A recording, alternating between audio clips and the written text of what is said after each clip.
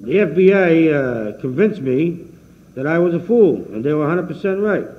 They were doing it to me, and not just in the federal cases, in the state cases. They had informers going in on me and making it miserable for me. Uh, they wanted to give me 100 years in a case up in Boston. So, uh, Mr. mob really wanted to get rid of you, didn't they? Oh, they did. And They stole all my money when I went away. They stole your money when you went away besides. So I couldn't allow that. So the FBI showed me where I was wrong. The FBI is smart people. They showed me where They I was wrong. they convinced you that you were being made the victim That's right. by the people whom you had befriended and worked with. They convinced me that it was just a question of time before they killed me. Mm-hmm. And they were right. If I didn't do what I was doing now, I mean, I would have eventually get killed in prison. That's the, that's the final judgment and That's right. disposition, is it, of this mob? That's it. Get you out of the way completely so you don't cause no more trouble. Very well, you may Why, uh, why did they want to do that to you? You were a pretty good uh, operator for them, weren't you? But my people went to jail. Henry Tameleo and Raymond Patriarca were in jail, see, I see. uh, before I went away. So I had no one fighting for me anymore out there. If that happens, can't you make a deal with another mob outfit and get in with them? No, you can't trust them. They're a shady bunch of characters.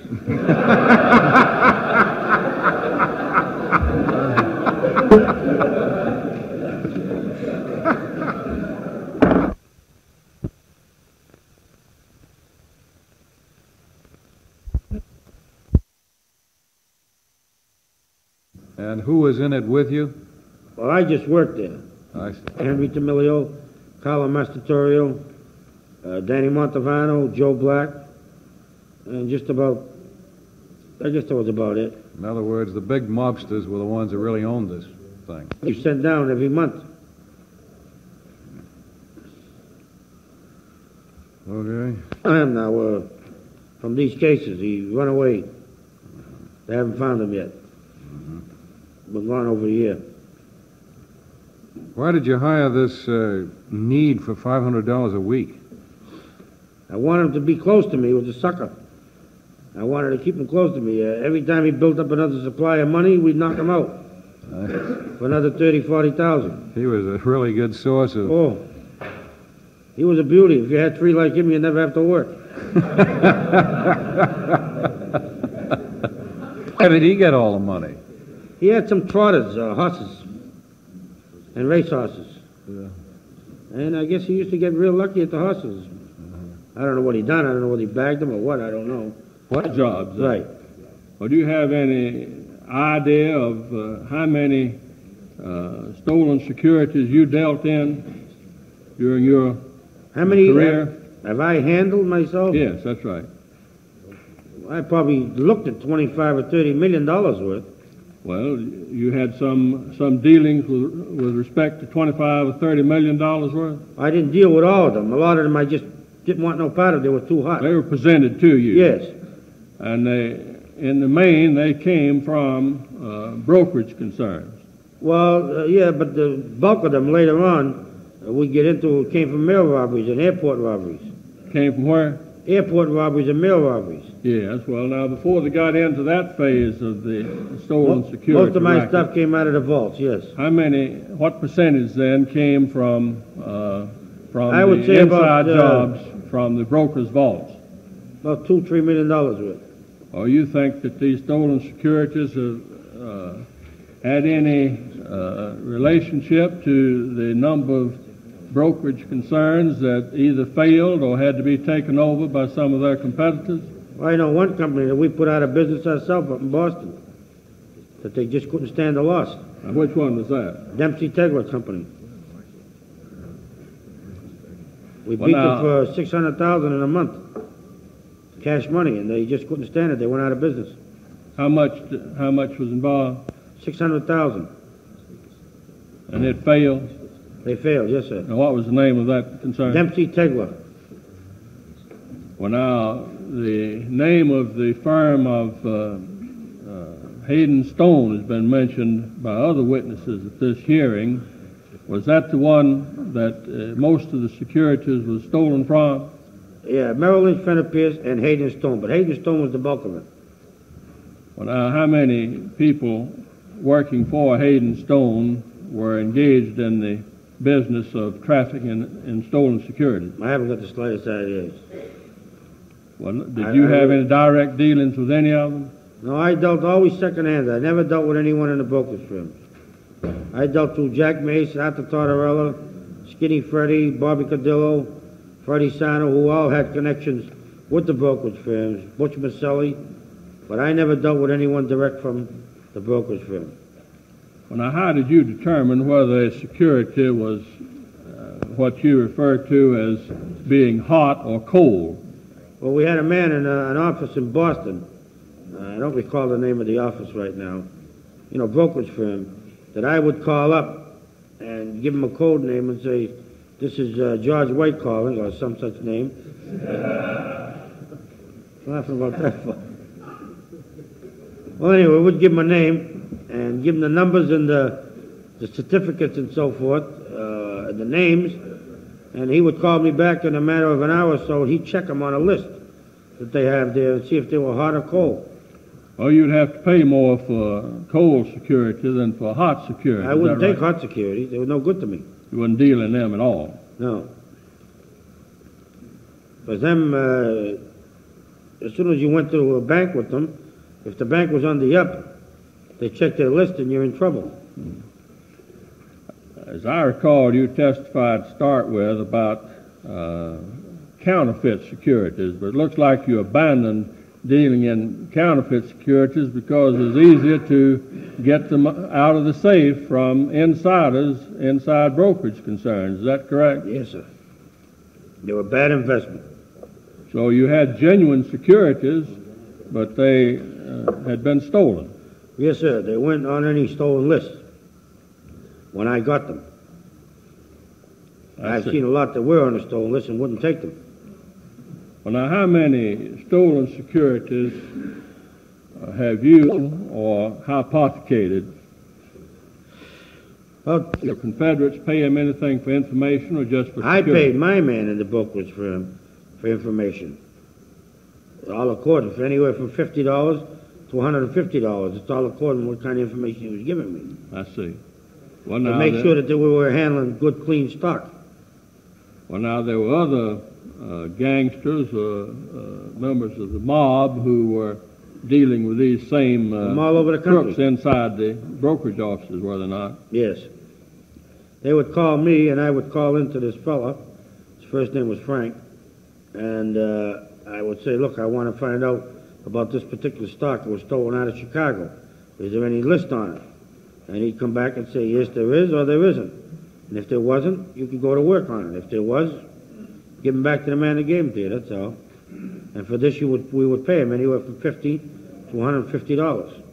Well, are some of these same insiders still operating uh, on the street? It was when I went away, yes. Uh, Have you furnished the uh, investigators the names of these individuals? The name is in my telephone book, uh, which is in the hands of the uh, United States Strike Force, I believe. Uh, name and uh, telephone numbers of these people that uh, I used to call. I see. His home number and his office. Thank you. I'll get. And this was the front for him to uh, do his operations there. You mean silver stolen illegally? Jack Mason is the, probably the biggest fence on the whole East Coast, and this is where he used to do most of his fencing in there and between there and the jewelry center. What does he fence? Everything. Jewelry, trail loads of cigarettes, liquor, trail loads of razor blades, you name it. Furs. What would you say his income would be in the course of a year from his fencing activities? Well over a million dollars. The man's a millionaire in cash. That's rich. Oh. He certainly is. He, When you're, a millionaire in, when you're a millionaire in cash, that's rich. Does he ever file any income taxes or anything, Jim? I imagine he must. He's down as a jewelry salesman. Uh-huh. But he's the biggest fence on the East Coast, you say? To my knowledge, Okay. Thank you. I believe uh, Jack Mace is in jail now. he's in what- Atlanta. In Atlanta. Yes, sir. Oh, You know, what charges? He got uh, ten. in- I got him in Baltimore for this particular case. Later on, when I cooperated with the government, 15 years, He's been convicted on your Yes. testimony.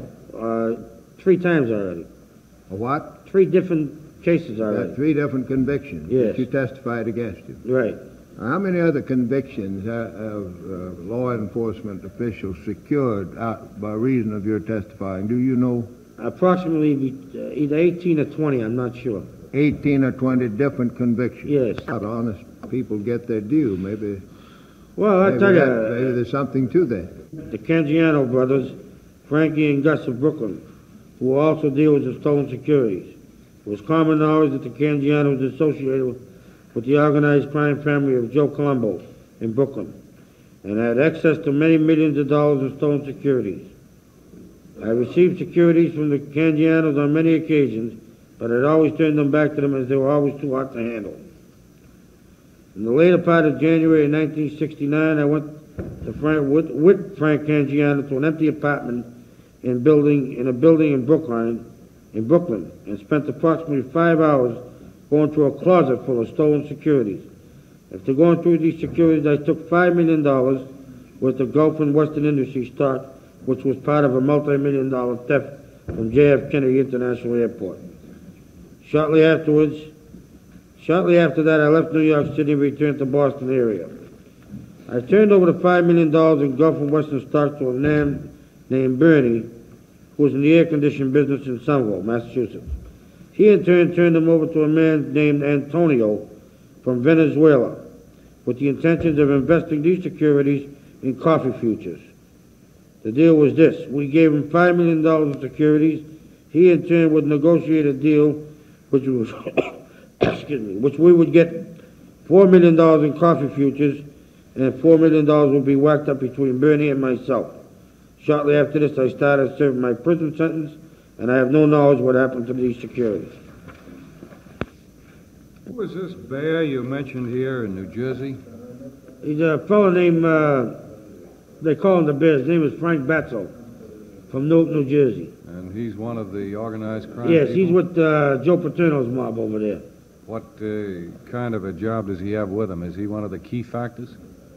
Well, he, uh, he's with an assassination group over there. I mean, he uh, gets paid for knocking people off? That's it. He's with the same group that Butch Maselli was with. How much would they pay him to do that? They got paid, uh, this is actually all they were supposed to do. They got paid so much every week for sitting around and just waiting for them to call them up. About how much? Uh, Butch was telling me he was getting a thousand dollars a week. I don't know whether to believe him or not. Would he get extra then if he got a job? I never asked him. I would imagine he did. Plus, they had this counterfeit scheme going here.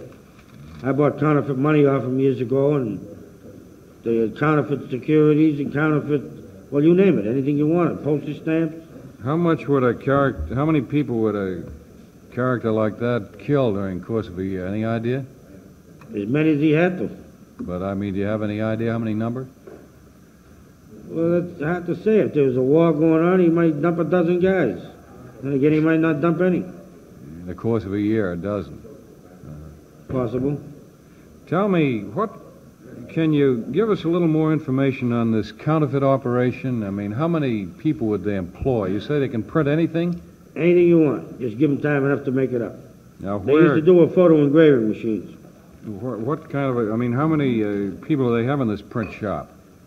Well, I don't know where the print shop is. I see. I mean, you've done everything. He would, he would make you up Massachusetts licenses and uh, uh, Massachusetts registrations and uh, bill of sales for cars and uh, passports, birth certificates, Anything at all? anything you wanted. You have any idea how much? About three weeks.